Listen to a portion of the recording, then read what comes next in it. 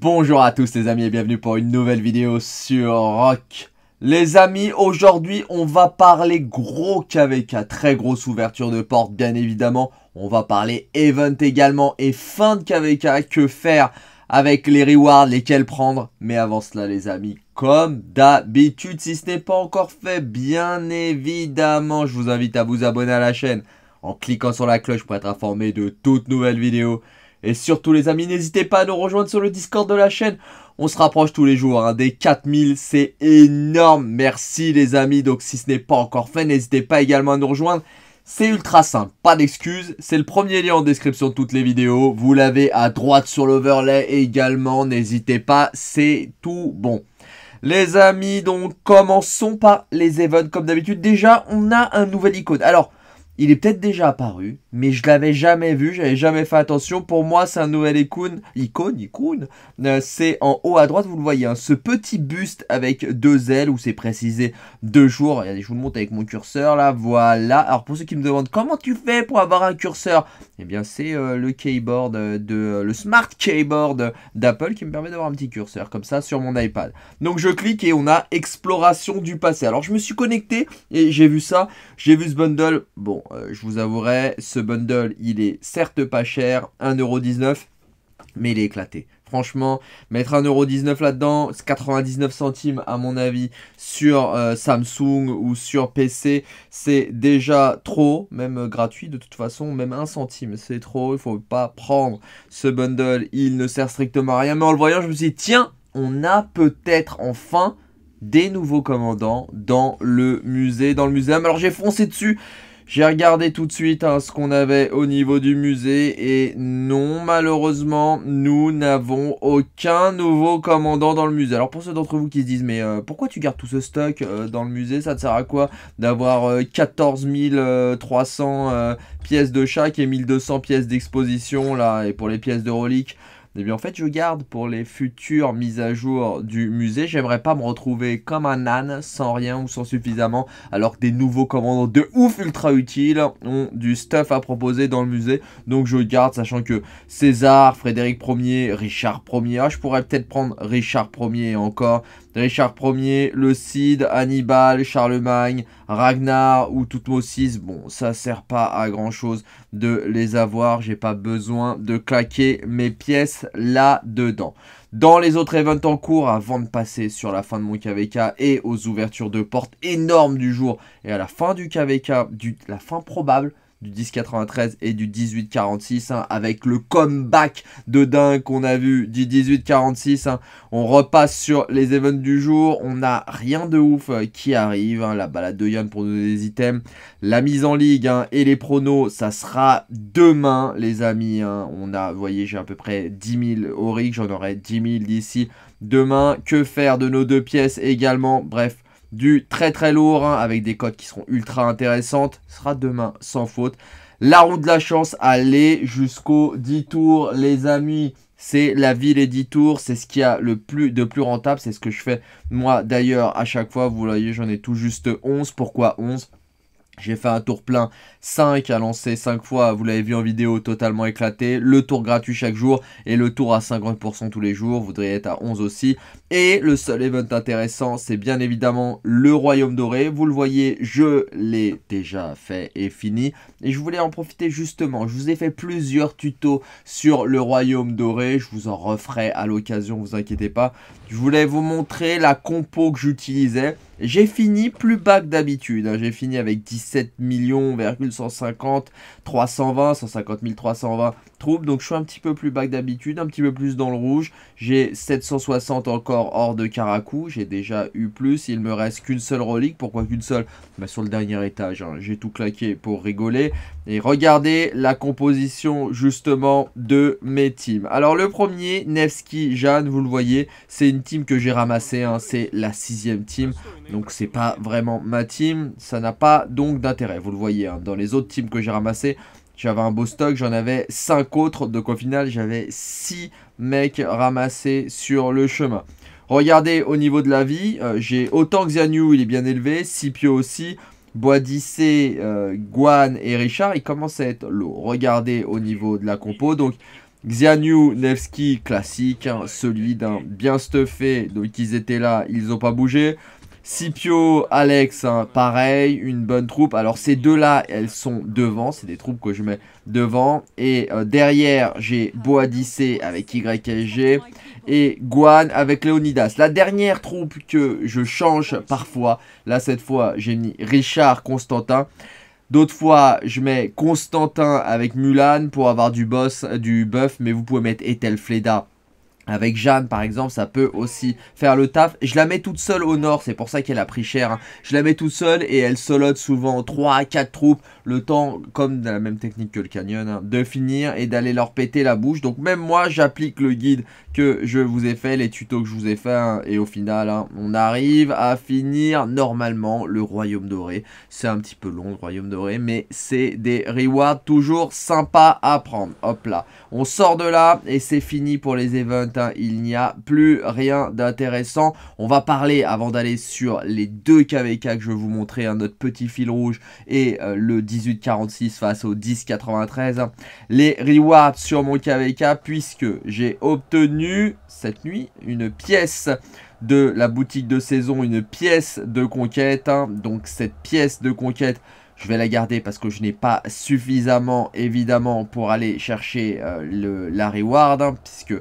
je pourrais aller chercher l'un des plans lorsque j'en aurai deux. Alors, moi, cette pièce de conquête, pour ceux qui se demandent où je l'ai eu, bah, je l'ai obtenue sur la reward à 10 millions. Je vais vous la retrouver. Alors, j'ai pas 30 millions, sinon j'en aurais eu directement deux sur la reward à 10 millions. 10 millions, 10 millions, 10 millions. C'est, c'est, c'est, c'est, c'est, c'est, je vais la trouver, elle est quelque part par là, elle est à la fin, je l'ai peut-être déjà passé sans la voir, c'est la reward solo à 10 millions, si je dis pas de bêtises, non, c'est pas la reward solo à 10 millions, si, si, je suis quasi sûr que c'est celle-là qui me l'a donné, on va la retrouver, on va la retrouver, on va la retrouver dans celle, j'ai dû la passer sans m'en rendre compte, ou peut-être elle est ailleurs. Voilà, c'est non, ça c'est celle à 30 millions. Elle est où Celle à 10 millions? Elle est, elle est, c'est une reward de, euh, de coalition peut-être? Oui, c'est une reward de coalition. Il faut avoir 10 millions d'unités grièvement blessées dans le camp adverse. Et, euh, et, avoir une forteresse croisée en contrôle. C'est là que j'ai eu cette pièce. Si j'avais atteint 30 millions, j'aurais pu directement en avoir deux. Mais je n'ai malheureusement pas atteint les 30 millions. Donc au niveau du magasin, cette pièce, je vous invite à la garder, tout comme je vous ai dit. Hein. Les pièces de saison, je vous invite aussi à les garder. Je pourrais les claquer en achetant un plan, mais je préfère racheter un plan de l'anneau de damnation, ce qui me permettra d'acheter autre chose après, peut-être une corne ou euh, un plan de vengeance ou une toile de Mora, en fait, on verra bien. La pièce, je vous invite comme moi donc à la conserver et puis après à viser l'un des plans, sachant que le marteau et euh, le plan du territoire sacré doivent être pris en dernier. Hein. Les meilleurs plans restent le casque du plan du conquérant, reste évidemment la fierté de Cannes qui est énorme. Et si vous êtes archer, le plan, l'explosion de l'hydre est très très solide. Je pense que je prendrai l'explosion de l'hydre personnellement lors de la deuxième pièce que j'obtiendrai hein, pour justement acheter quelque chose dans ce store. Allez, on file maintenant et on va parler KVK avec les KVK qu'on souhaite suivre le 1093 face au 1846. Alors je vous ai montré le comeback incroyable du 1846. Qu'est-ce qu'il s'est passé cette nuit? On le voit déjà, hein, comme je vous le dis souvent, hein, les quatre royaumes impérium sont toujours impérium. Le 2133, le 1846, le 1302 et le 1093 sont toujours impérium. Ce qui veut dire qu'ils ont encore de la marge et que ça peut encore évoluer. 36 jours, 13 heures, 20 minutes et 48 secondes. On se rapproche vraiment de l'issue de ce KVK. Regardons, le 1846 était revenu en force au sud en repoussant les songs. Regardons ce que ça a donné. Eh bien, vous le voyez. La map au niveau des terres du roi est redevenu quasi intégralement bleu. Regardez bien, on ira voir les zones de fight après, mais cette première zone que je vous montre avec le curseur au niveau de la porte 7, le 1093 durant la nuit a réussi à enfermer une des portes totalement du 1846. Le 1846 donc Ils avaient réussi à prendre toute cette zone-là que je vous montre là et avaient repoussé les Song et les Ducks. Eh bien, le 1093 a finalement réussi, je vous en parlais dans la vidéo d'hier si vous l'avez raté, a finalement réussi à fermer totalement autour de la Ziggurat hein, et durant toute la nuit à repousser on peut parier qu'ils vont être bloqués et totalement exclus des terres du roi. Nos amis du 1846 et sur cette zone-là, avec le soutien du 1093, hein, les Song et les Ducks ont réussi à revenir. Et eh bien c'est la première zone qu'on va aller voir d'ailleurs. Qu'est-ce que ça donne à ce niveau-là? Alors, il doit y avoir du monde vu qu'on passe directement en graphique simplifié. Oui, c'est bien blindé. Regardons donc au niveau des flags. Qu'est-ce qui brûle? Qu'est-ce qui ne brûle pas? On le voit, le flag du 623 brûle de ouf. Les 302 sont là, les 846 sont là également. Le flag du 846, celui plus bas, ne brûle pas, mais celui au nord est bientôt totalement mort.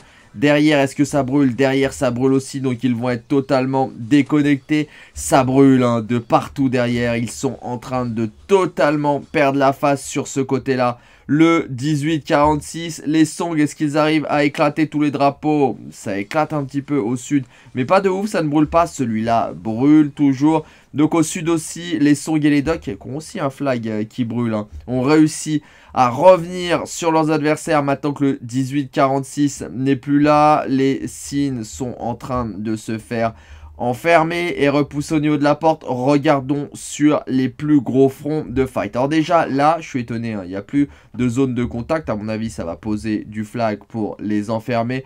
Regardons sur la deuxième zone. Cette zone-là, est-ce que quelque chose brûle? Non, ça a brûlé là, mais ça ne brûle quasiment plus, c'est totalement réparé. Remontons tout le long, ça ne brûle pas d'aucun côté, ça ne brûle plus du côté du 1093, où celui-là a eu chaud. On continue donc sur le front, ça ne brûle pas, ça ne brûle pas. La zone la plus chaude va être bien évidemment toute cette zone-là. Est-ce que ça brûle ici? C'est ici que ça va jouer. Hein. Ça brûle du côté du côté du 1093 sur ce côté-là ou pas? Alors le flag, évidemment, il est très difficile à voir. Il doit être au milieu de cette masse. Je vais dézoomer pour le voir. Il est là très précisément. Le petit flag, impossible. Hein. Là, c'est le bordel. Bon, on le voit bien. Gros avantage à l'open field sur ce flag-là, sur cette zone-là. Allez, je vais peut-être pouvoir cliquer dessus. Je peux cliquer dessus, il est en réparation et il est plus contesté, du coup il n'y a plus de rallye dessus. On le voit sur cette zone de fight, gros avantage sur le 1846, hein. mais il a perdu tellement de terrain le 1846 là, qu'il va être très difficile, si ce n'est impossible pour lui de revenir. Il est probable que le 1846 a perdu durant la nuit son avantage et donc ce KVK, on le regardera pour finir la semaine prochaine, voir ce que ça a donné.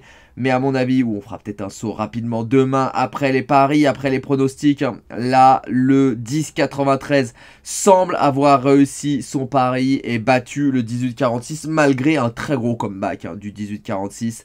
Là, ils n'ont pas tenu apparemment la longueur. Hein. On va voir, mais là, je pense que c'est plié. Ils vont se faire enfermer totalement nos amis du 1846. On verra cette nuit. En fait, ils ont toute l'après-midi. Il faut savoir que la nuit, le 1093 est extrêmement fort comme vous l'avez vu. Ils n'ont que cet après-midi et la fin de la journée pour faire un retour en force. Mais là, ça me paraît totalement mort pour le 1846. On va voir s'ils me font mentir ou pas. Le 1093 est définitivement trop fort pour le 1846. On va aller voir un deuxième KVK dont je vous ai également parlé hier puisque on a l'ouverture des portes de niveau 4. Hein. J'en sais un peu plus au niveau des équipes également. Et vous allez le voir, ça va être extrêmement intéressant ce qui va se passer sur le C1 15 78, 8 jours 13 h 25 minutes 58 secondes, 6 Imperium, 8 royaumes seuls au monde. Et pour la map, c'est super simple. Pour la map, je peux vous dézoomer. Je vais vous remettre d'ailleurs sur la mini-icône. Icône, c'est difficile à dire parfois. La mini-icône, ça sera plus simple. Hein. Regardez, elle est ici sur... Non, on n'est pas ici, on est ici. Au niveau des camps, c'est très simple. Hein. On a Le premier camp, celui de... Alors, je sais pas ce que c'est, ça c'est de la terre. Le 23-75 et avec la tornade, le 16-40... Ouh là là, le 16... 47 hein, et si je dis pas de bêtises je crois qu'ils sont avec le 1887 le 1887 ou, ou, le 1842 si, euh, si j'ai bonne mémoire, il me semble que c'est le 1887. Hein. Donc on a ces trois camps qui sont ensemble et ces trois camps sont ensemble face aux cinq autres. Donc ça va être évidemment du très très lourd à l'ouverture des portes. Au moment où je recorde, les portes ne sont pas encore ouvertes, mais elles vont ouvrir à dans juste quelques dizaines de minutes. Ce qui fait qu'au moment où vous verrez cette vidéo, les portes auront déjà ouvert et vous pourrez aller voir ce que ça va donner. Ça va vraiment être très très lourd. Alors je vous dis pas de bêtises, le 1647 est avec le 1842 et bien avec le 1887. Donc le camp, c'est celui-là tout seul qui est avec les deux là. Donc on va avoir des grosses zones de fight. Hein. Ça va être très très lourd. Allons voir tout de suite ce que ça donne. Et surtout voir le timer comme je vous disais. Parce qu'au moment où vous verrez cette vidéo, hein, les portes ont ouvert depuis suffisamment longtemps pour 1h19 minutes et 4 secondes pour avoir de l'action. Alors c'est pour ça d'ailleurs, je me suis dit, est-ce que j'attends une heure pour pouvoir vous faire un record après l'ouverture ou pas?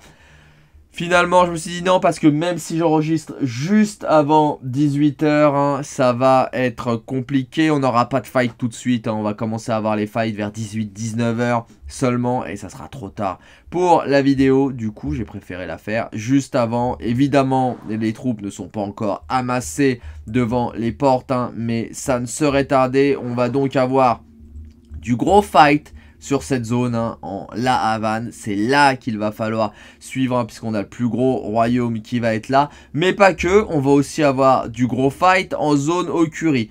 Et on en aura aussi de l'autre côté en zone Kalcha. Alors on peut déjà prendre les paris. Je pense qu'en zone Kalcha, le royaume en Lucerne, eh bien, devrait gagner la zone. Si on va de l'autre côté, en La Havane, je pense que le 84 va également gagner cette zone. De l'autre côté, en Sakaka, alors ça se trouve, le, euh, le, 60, le royaume en Clarence ira peut-être pas en La Havane et va mettre toutes ses forces en Sakaka. À mon avis, il a probablement moyen qu'il se fasse enfermer des deux côtés. Et si on prend la dernière zone de combat en Okuri, je pense aussi que le, euh, le royaume en Tahiti va gagner cette zone. Alors je me trompe peut-être, hein. ça va être compliqué, hein. le 3 versus 5, je ne sais pas comment il s'est décidé, mais ça va être extrêmement compliqué pour le 16-47 euh, au nord et leurs alliés. On va bien voir, hein. je pense qu'il y a moyen que les 5 gagnent face aux 3. Je ne sais pas s'il y a une histoire qui date d'avant, qui fait qu'ils se sont embrouillés, qui sont 3 versus 5, mais ça me paraît un petit peu déséquilibré.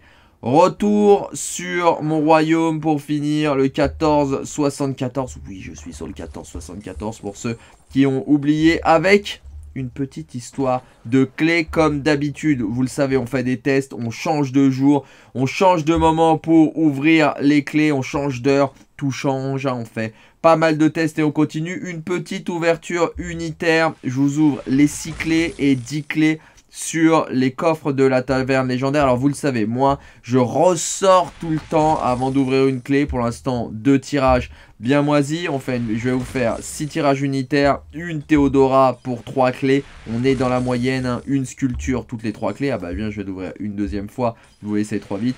Six clés, deux sculptures. Je suis parfaitement dans la moyenne. Une clé toutes les trois ouvertures. Je vais faire une ouverture à 10 si j'ai entre 3 et 4 sculptures. Je serai encore une fois parfaitement dans la moyenne. Regardons ce qu'on obtient. Et j'ai obtenu 3 sculptures. Je suis une nouvelle fois dans la moyenne. Et hop, je sors et je vais dans le store. Et évidemment, j'échange contre des clés. Donc c'est pas la bonne heure, l'heure où je recorde euh, aujourd'hui. Pour faire l'ouverture de clés, on le notera dans le fichier. Mon ami Koala, faut pas faire d'ouverture à cette heure-là.